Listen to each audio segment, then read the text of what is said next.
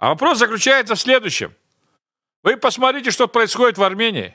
Господин Пашинян не собирается уходить своего поста. Вы видели, как он называется от Шуше, мол, что там потеряли, серый город, да что там и так далее. А теперь давайте зададим вопрос. Кто такой Пашинян? А еще интересный вопрос. А кто такой президент Армении Саркисян?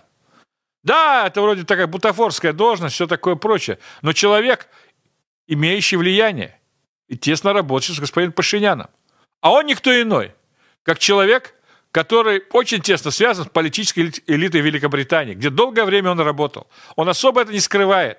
Его позиция во время конфликта была отстранена. Он делал вид, что его ничего не интересует, разъезжая по штабу квартире НАТО, по некоторым европейским странам и так далее. Давайте еще откровение скажем. Что же получается, а?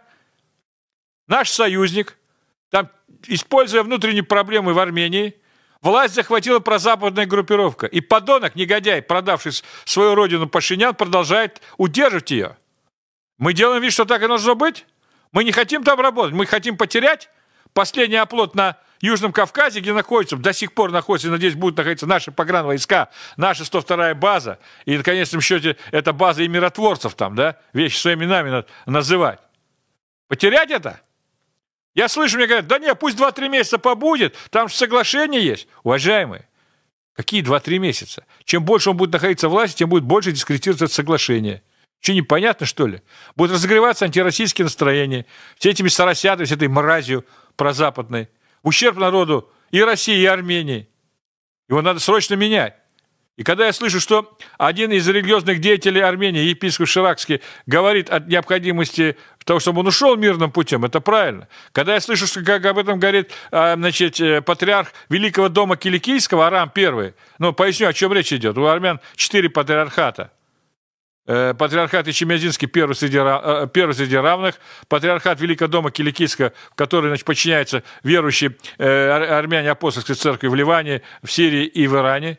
Константиновский патриархат, ну тут это просто щенок и слуга спецслужб Турции, как и э, патриарх Вселенский Варфоломей и патриарх Иерусалимский. Он говорит о необходимости смены. Я, правда, удивляюсь, что почему до сих пор свое слово не сказал и Чемиадинский патриарх Горген II. Ему что, безразлично, что происходит в Армении? Вы посмотрите, что этот тварь делает.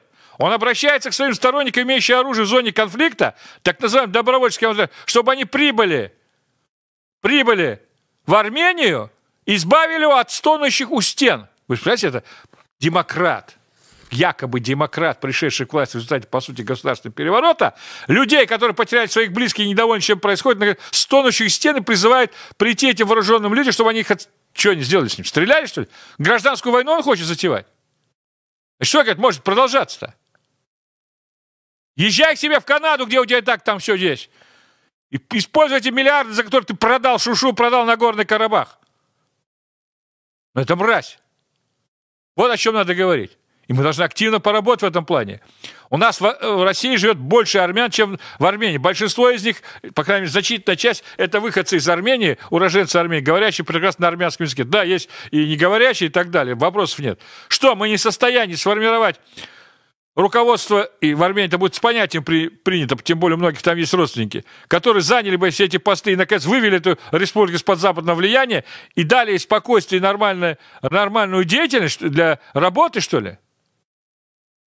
Что это такое? Дошло до того, что если верить неким публикациям, у меня нет сомнений в, в этих публикациях, что Министерство обороны Армении продавало через одного мрази там, торгаша, серого торгаша оружием, боеприпасы туркам для передачи про турецкое формирование.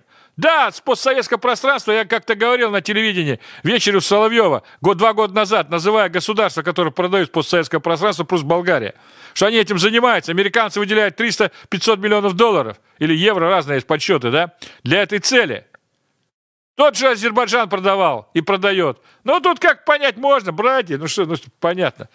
Но армянам продавать, армянским предателям, точнее, не армянам, это позорище. Потому что куда эти боеприпасы идут? Они идут про турецкое формирование, которые воюют и убивают христиан Сирии. А это армяне и ассирийцы. Наряду с гражданами Армении, ассирийцы тоже граждане Армении, убивают езидов, которые там находятся.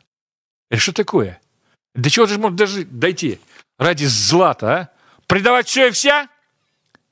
А ассирийцы и армяне там служат и в рядах правительственных сил сирийской армии, и в рядах партии Демократического союза костяка сирийских демократических сил, прокурских так называемых организаций. Они их убивают.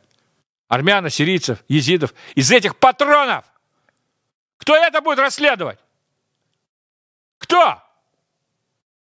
Кто скажет мне ответить на этот вопрос? Может, пора прекращать это? Вы посмотрите, какое горе доставило предательство Пашиняна. Вот пусть по нам покажет, как останки своего близкого человека э, значит, достают из земли. Люди, чтобы эти останки тоже перезахоронить подальше, потому что территория отойдет под контроль турецко-азербайджанской коалиции. Покажите это. Покажите, наконец, как издевается над христианскими ценностями крестами, и покажите одновременно, как это было в 2014 году в Масуле над христианской церкви. Покажите.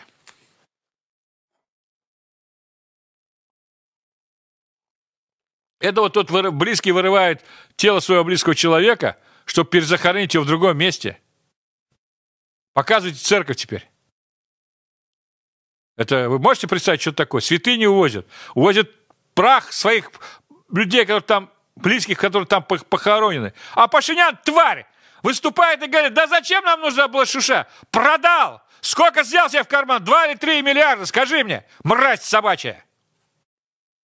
Показывайте церковь это тоже. Как вам? Вот сверху это христианская церковь, ассирийская, в Масуле. А вот ниже это Карабах. Чем отличается? Там и там дикарь и террорист снимает крест. Он ему, видите ли, не нужен, наверное, да? Или как там сказать? Спасибо президенту России и миротворческим силам, которые взяли под охрану э, значит, церковь до Диванки. Ну, таких церквей еще много осталось. Числе церковь Святого Егише. Кто это такой? Я поясню. Это один из, и, один из величайших богословов и историков 5-6 века. 5-6 века он основал эту церковь. Он заложил основу этой церкви. Этот человек описал в том числе знаменитое восстание Вардананг во главе с Варданом Мамикояном после персов в 450, 451 году в этом сражении против персов участвовали как армяне, так и албаны, о которых часто спекулируют некоторые товарищи, так и иберы, это предки грузин. Кто их защитит? Кто эти церкви защитит?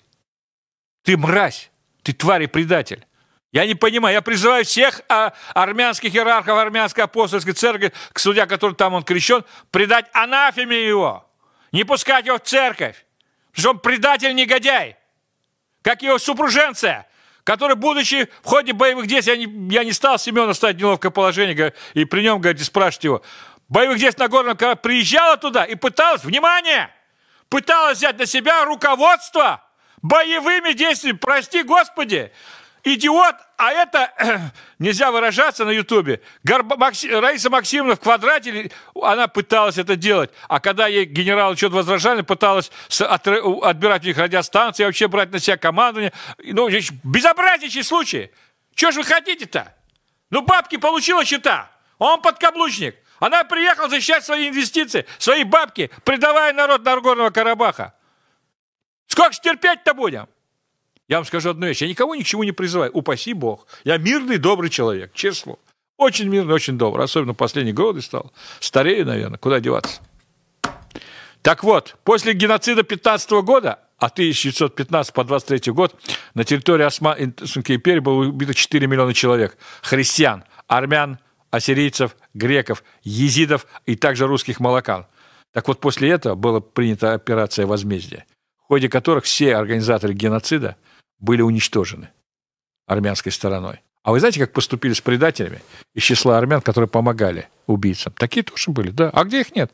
Назовите мне народ, где нет предателей. Ну, нет таких, нету, к сожалению. Так устроен мир. Есть везде.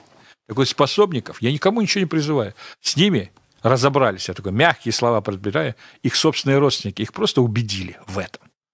Потому что нет ничего подлее, как участвовать в уничтожении своего народа ради денег или еще бог знает чего. Эта тварь предала армянский народ. Она пред... Он предал сначала российский интерес, разыграл антироссийские все эти маховики, да, а потом сделал это. Я считаю, мало того, любой гражданин России армянского происхождения, который здесь живет, если когда-нибудь подаст руки ему или ему ближайшего соросовского руководства, тут подонок и негодяй, его надо лишать граждан с России, потому что, кроме всего прочего, это антироссийский негодяй и тварь, который берет деньги у врагов, да, и одновременно служит Западу, служит Великобритании. Он и президент Саркисян. Верный, правда, служит Великобритании. Не знаю, в доле он или как там, трудно сказать. Вот этот позор надо смести к чертовой матери.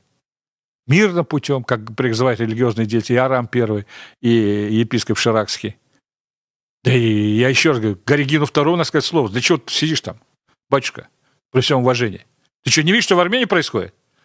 Ты не видишь, как этот предатель, негодяй делает шаги к гражданской войне в стране, призывая своих вооруженных, значит, там деятелей, сколько их там, я думаю, меньшинство, ну как бы то ни было, прийти в Ереван и защитить тварь.